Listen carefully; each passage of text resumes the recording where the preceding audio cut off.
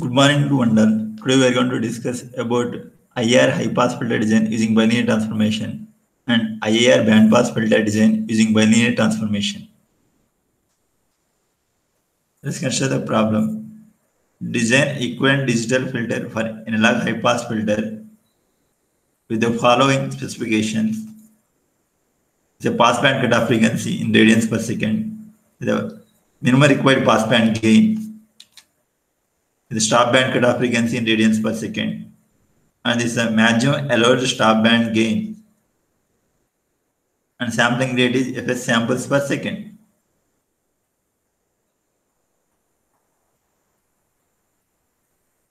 Given specifications for analog high pass filter are omega p, delta p, omega s, and delta s. Now we'll try to convert this into equivalent digital filter specifications for the given sampling rate fs. With help of this expression, omega equals to 2 pi f by fs. Or you can say small omega equals to capital omega by capital fs. Similarly, omega s equals to 2 pi fs by fs equals to capital omega s by capital fs. You see radians per semp. Now we need to implement digital high pass filter with the following specifications.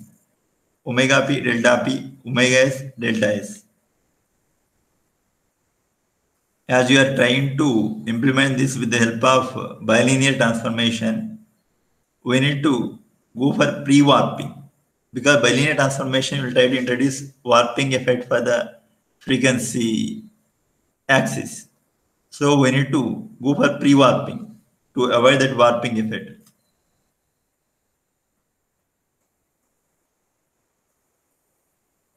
First, in order to design a digital filter with these specifications, what we are going to do is we will try to implement the concerned analog filter with the help of Butterworth filter design Chebyshev filter design and so on using analog filter design techniques. But for that, we need to do pre-warping. That's what we are doing. After that, we can simply apply bilinear transformation at the end. Once you got analog filter with you, H of S, you can simply replace S with 2 by T into 1 minus Z power minus 1 by 1 plus Z power minus 1.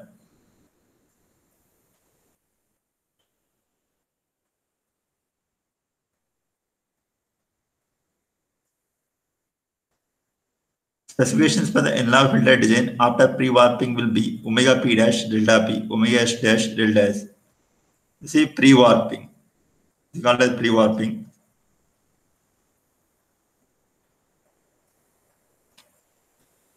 Now our target is we need to design high pass filter, analog high pass filter with the following specifications. Once you got analog high pass filter with these specifications like uh, H of S, then you can simply apply S equals to 2 by T into 1 minus Z power minus 1 by 1 plus Z power 1 to get the concerned digital filter, concerned digital high pass filter. So our first goal is we need to design analog high pass filter with these specifications. In order to design analog high pass filter with these specifications, we are going to implement normalized low pass filter first. After that, we can simply go for the frequency transformation. You can go for frequency transformation to change normalized low pass filter to high pass filter, equivalent high pass filter. And these are the concerned normalized low pass filter cutoff frequencies. Is a stop band cutoff frequency for the normalized low pass filter. You can revise that one once again. Analog filter design techniques. Omega Sn equals to omega p dash by omega s dash. Is a normalized stop band cutoff frequency for the low pass filter and is the normalized pass band cutoff frequency for the low pass filter. 1 comma delta p omega sn comma delta s. These are the specifications for the normalized low pass filter.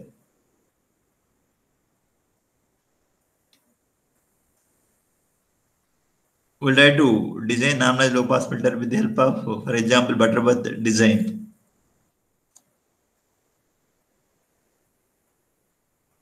With this expression, we can try to find the order of that Butterworth filter.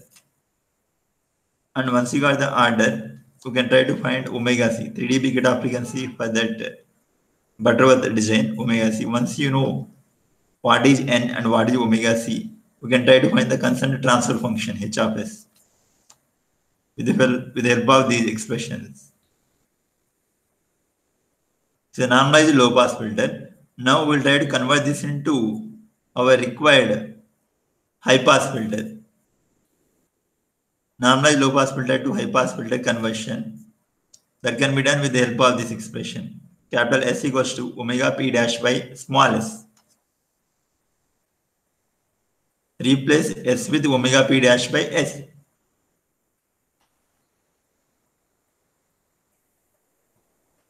And after that, we'll try to convert this into equivalent digital filter with the help of bilinear transformation. Of z equal to h of s with s equals to 2 by t into 1 minus z power minus 1 by 1 by z power minus 1. If you substitute this one, t gets cancelled out in the numerator and denominator. So we can consider whatever t you want. It doesn't matter. Just for our convenience, we'll go with capital T equals to 2.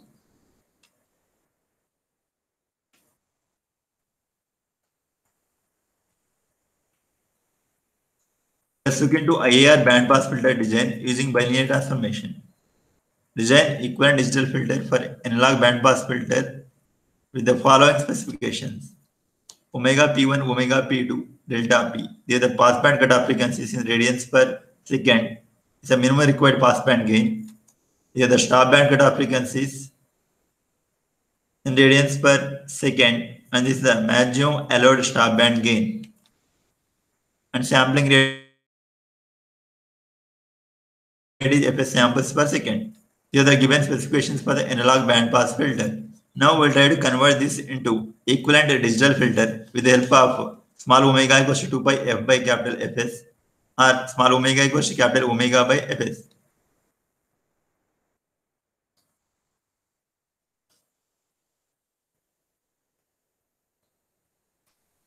Now we need to implement digital bandpass filter with the following specifications. Small omega p1, omega p2, delta p, omega s1, omega s2, delta s. With these specifications, we need to design digital bandpass filter. And our plan is we want to design this digital filter with the help of analog filter design techniques. For that, we are approaching to bilinear transformation. But if you do bilinear transformation, there will be warping effect. In order to avoid that one, we need to do pre-warping.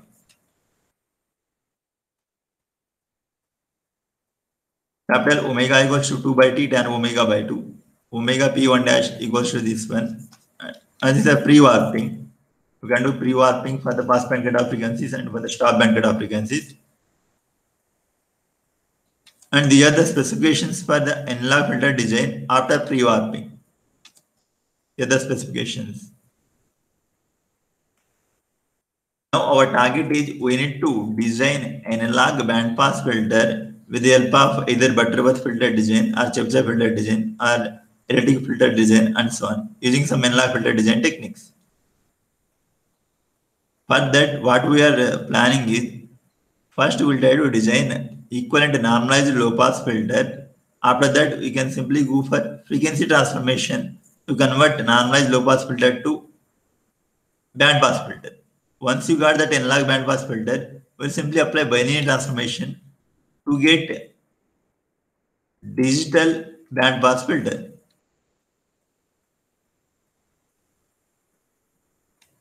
As we are designing the as we are designing with the help of frequency transformation, normalized low pass filter to band pass filter, which follows geometric symmetry.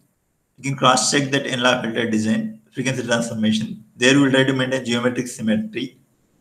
For that, we need to do some manipulation.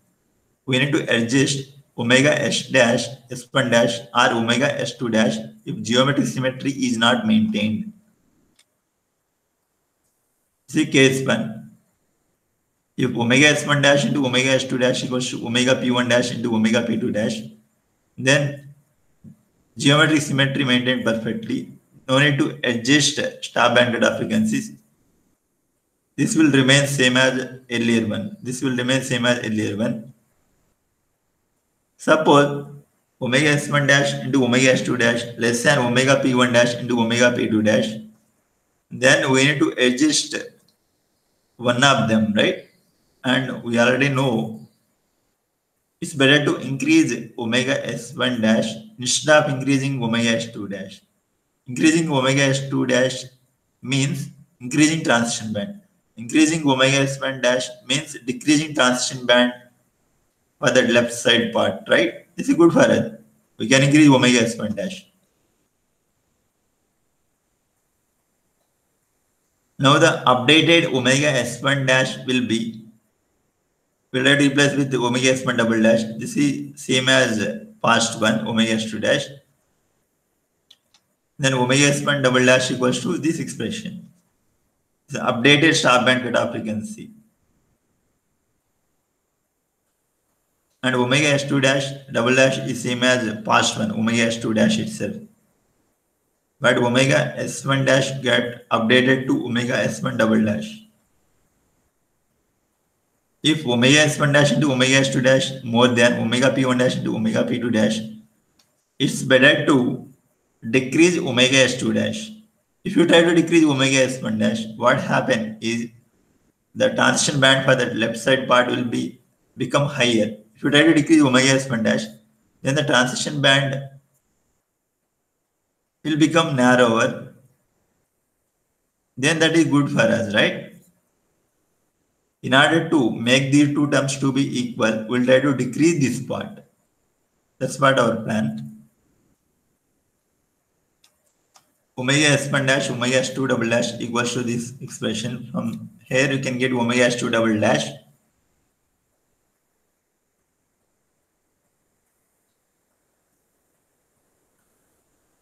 And step 3. First we will design the concerned normalized low pass filter Later, we'll go for the frequency transformation.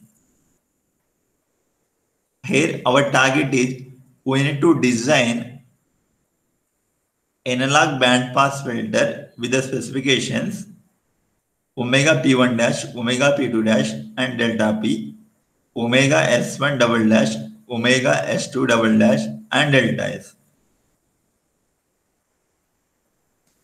That's what our target in this case. Before that, we'll try to design normalized low pass filter. After that, we'll go for frequency transformation. The stop band cutoff frequency for the normalized low pass filter, omega sn equals to omega s2 double dash minus omega s1 double dash by omega p2 dash minus omega p1 dash. Now design normalized low pass filter with the following specifications. This is a pass band cutoff frequency normalized low pass filter, right? 1 radians per second. And delta P, marginal allowed pass band gain. The stop band cutoff frequency is a minimum, is a maximum allowed stop band gain, is a minimum required pass band gain.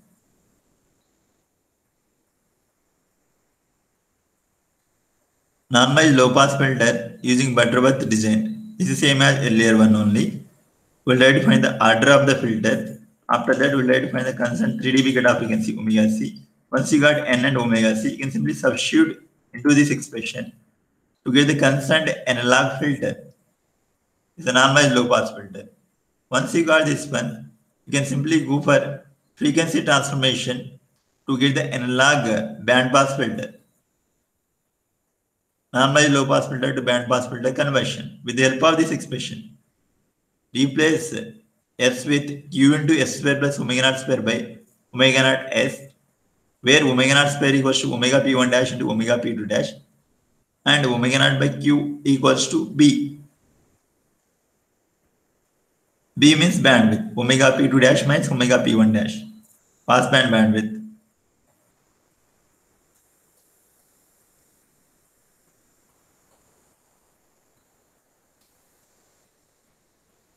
And here HAFS corresponds to analog band pass filter. Analog band pass filter. Now we need to convert this into digital band pass filter with the help of bilinear transformation. simply replace s with 2 by t into 1 minus z power minus 1 by 1 plus z power minus 1. As usual, t gets cancelled out. We substitute into that expression. So for our convenience, we can take some capital T equals to t, 2.